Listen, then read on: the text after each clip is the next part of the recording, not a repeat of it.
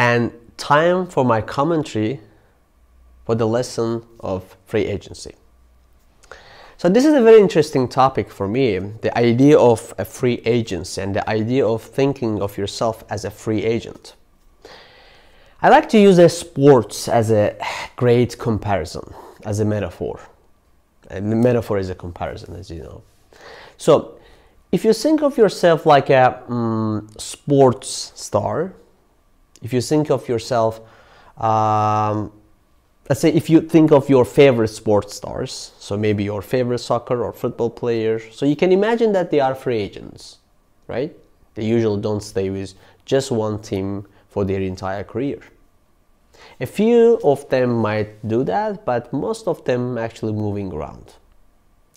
Maybe they start with one team when they are younger and as they become better and better and then more and more teams want them because they have more skills they have uh, more ability we can say. So they accomplish more so they get more attention.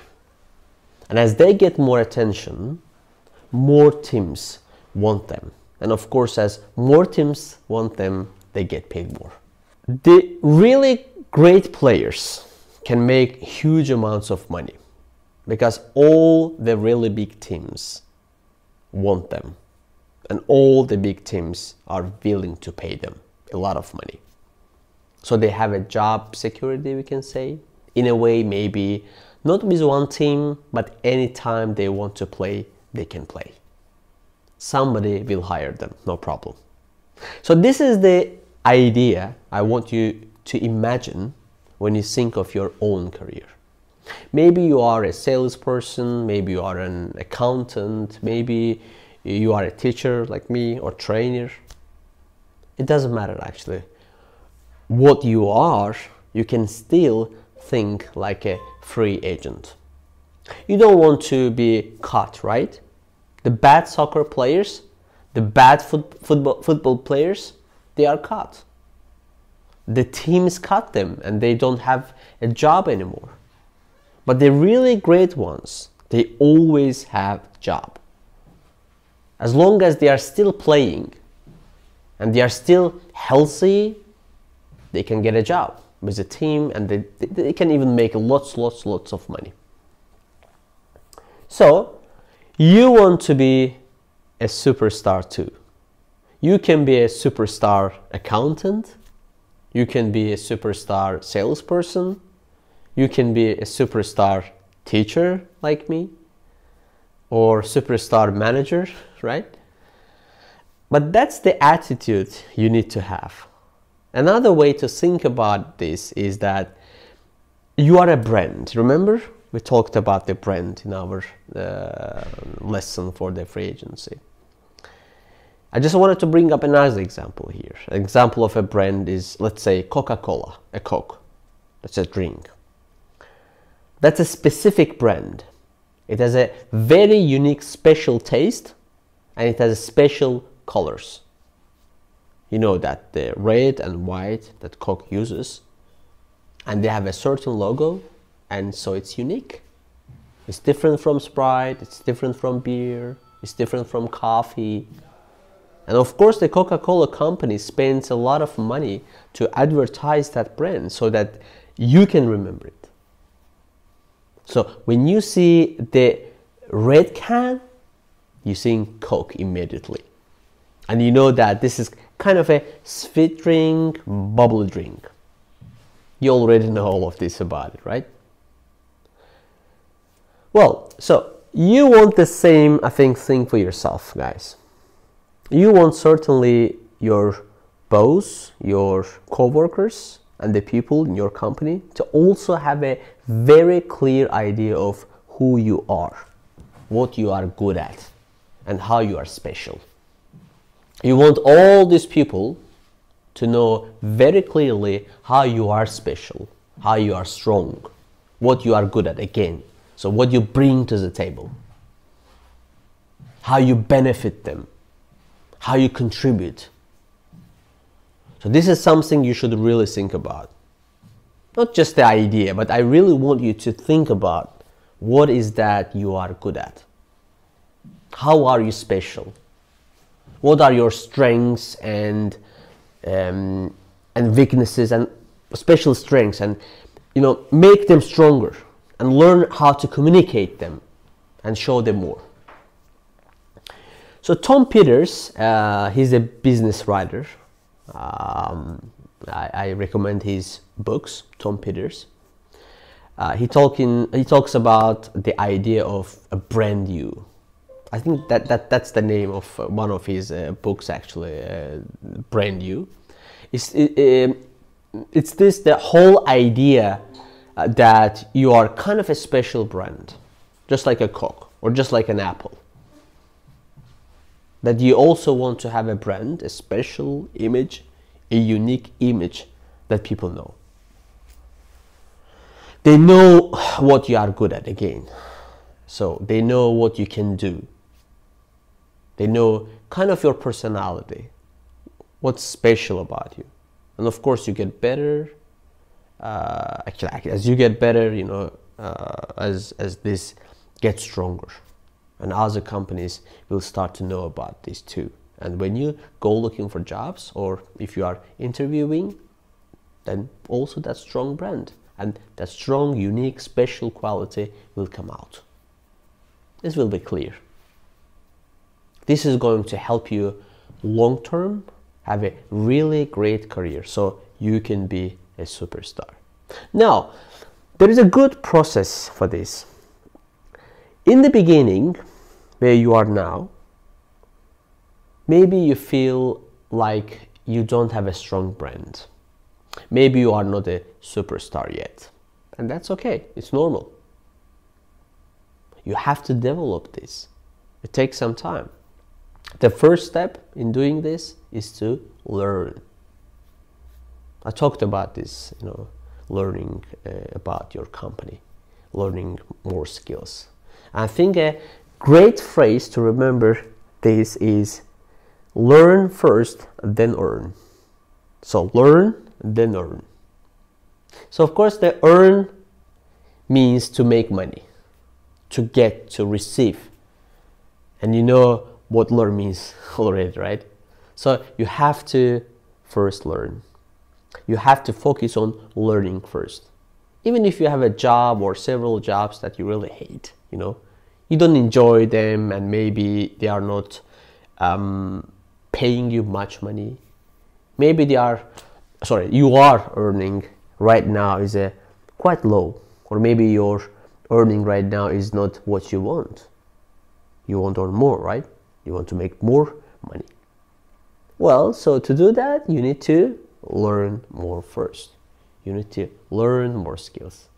You need to learn more about your whole business. Whatever your business is that you are in. Again, if you are an accountant, if you are a teacher, if you are a salesperson, whatever it is, you need to learn more. So I think that I talked about learning more about the whole company and the big picture. But you also need to learn more skills. You constantly need to be learning. Um,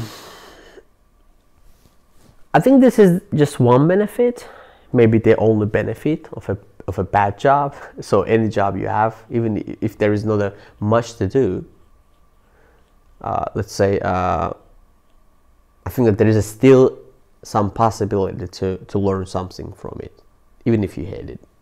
As I said, you know, like back into uh, 2015, 14, uh, I was a bit younger. I had many, many, many jobs, so that. But most of the time, I hated them. I always learned something from those jobs, and over time, I I learned more skills, more skills, more skills, and eventually that allowed me to get better jobs, jobs that I liked more that I enjoyed more and uh, paid me more money. But again, I really hated that job. So this is an important attitude to have. Learn as much as you can, especially in the jobs that you hate, especially when you are not making much money. See, in those jobs, most of your coworkers will not do much. They will just do the minimum they don't care because they don't like the job. Maybe it's not a, a great job, you know, but I think that if you're trying to learn and to be a superstar at that job, I think then, then people will start to notice you. You know, let's just uh, say that you are a janitor. You know, you are just cleaning the office, right? You, you vacuum and you clean. Well, most janitors, they just do the basic job. But you could be a superstar janitor. You could do an incredible job of cleaning, first of all, so that everything is super clean. But then you could also start learning extra skills. You could start learning about the business that you're working for, the office where you're at. You could start learning more about the uh, building. You could start learning more about the people who work there, talking to them. And you could start getting more skills than just cleaning the office. So, in this way, you start to connect with people. People start to notice you. They start saying, wow, like that guy or that woman is kind of special. They are not like a, uh, all other janitors. There's something different about them. A janitor, I said, like it's just a person who cleans, but you can be a superstar janitor, and eventually, that will help you. I guarantee it will give you the chance to go higher or do something else. And this is true for any job you have. Learn as much as possible. And the next step is to push your strengths to become special in one or more ways. I think the easiest way to do this is to focus on what you are already good at, what you are already strong at, and make it stronger and stronger and stronger. I will give you an example from my life. So, as an English teacher, I realized that I had some strengths and I had some weaknesses. My weakness was that I hated paperwork. I didn't like textbooks. I hated all the normal activities that the most English teachers do.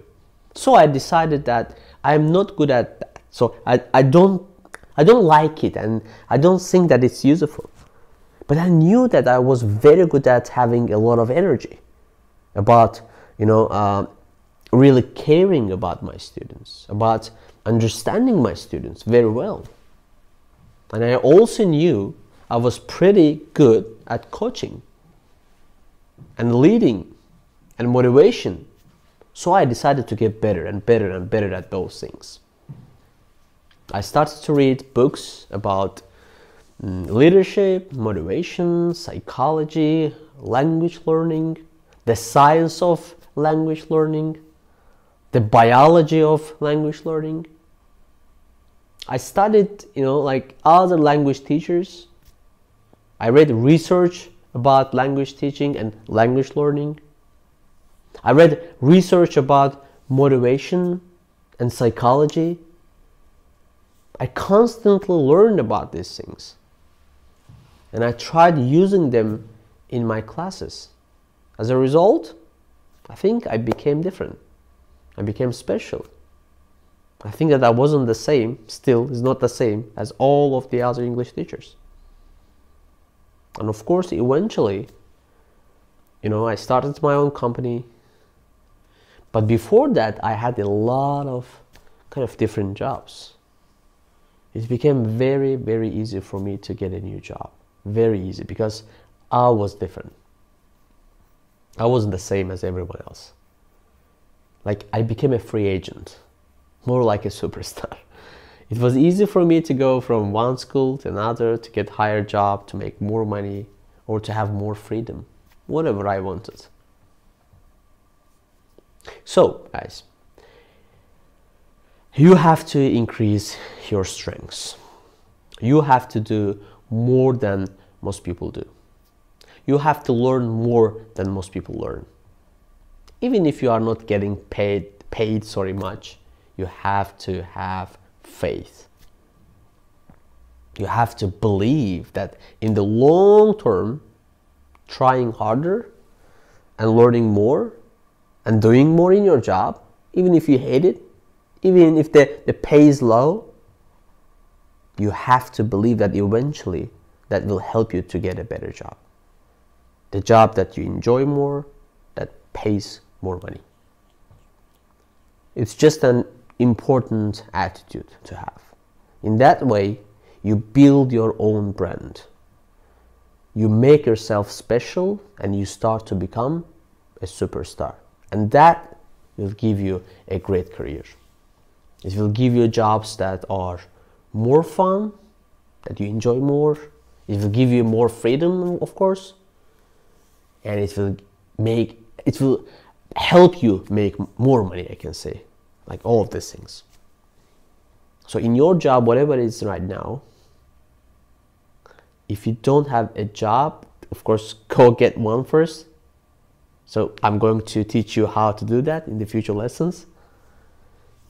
Just just just be superstar in your job whatever it is and eventually you are going to go up up up. All right guys. See you in the next lesson. Have a good day bye bye